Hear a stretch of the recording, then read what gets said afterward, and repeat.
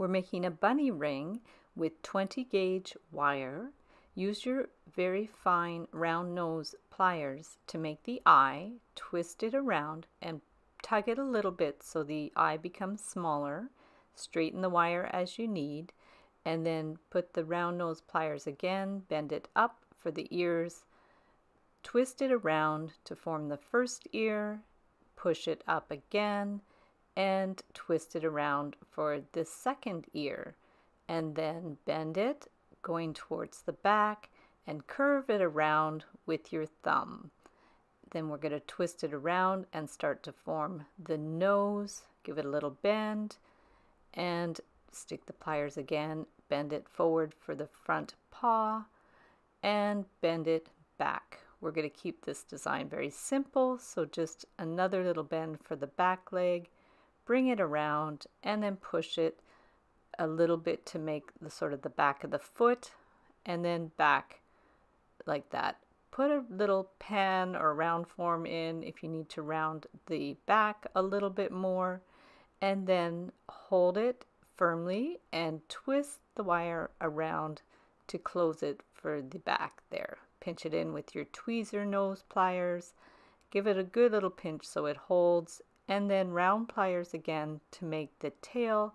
Bring it right around to form a nice little circle and just adjust it how you need. Hold it with the flat pliers, bend it around, and then we are going to clip it so the end is gone and then we're just going to pinch it in with the flat pliers so there's no scratchy bits. Now get an 18 gauge wire, twist it around for the band on your ring mandrel and then get your pliers and bend the wire up at a right angle. Measure how wide you need the distance to put the bunny.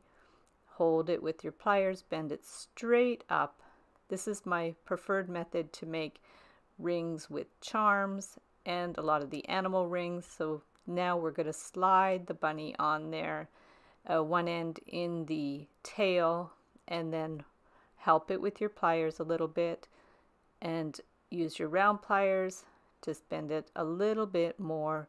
Put it back on the ring mandrel, adjust it, pinch the wire back so it's firmly in place. Remove it from the mandrel, tug it a little bit more with your tweezer nose pliers, and then we are going to clip it with the flush cutters and get our tweezer nose pliers to pinch that little pokey end in. You don't want it scratching your finger.